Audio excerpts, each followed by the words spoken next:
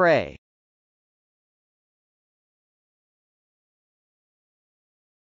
Prey.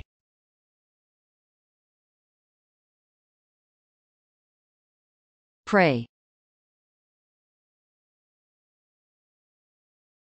Prey can be a noun or a verb. As a noun prey can mean 1. Anything, as goods, etc., taken or got by violence, anything taken by force from an enemy in war. 2.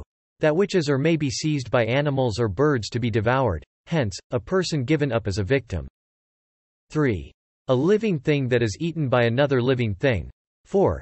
The act of devouring other creatures, ravage. 5. The victim of a disease. As a verb prey can mean, to act as a predator. Of the hunter and the prey,